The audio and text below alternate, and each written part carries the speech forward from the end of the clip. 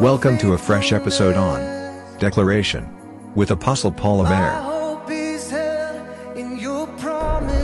I decree and declare in the name of Jesus, receive testimony that cannot be hidden, receive testimony that cannot be denied, receive testimony that cannot be manipulated, cannot be aborted, cannot be pushed aside, cannot be diverted in the name of Jesus Christ. I pray over you today in the name of Jesus Christ that you receive a testimony that cannot be postponed.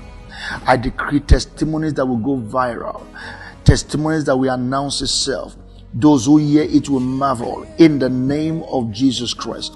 I decree and declare that your testimonies, those who hear it will share it. Those who hear it will use it as a point of contact for their own. In the name of Jesus Christ, receive those testimonies now. In Jesus' name, it is your own. Amen.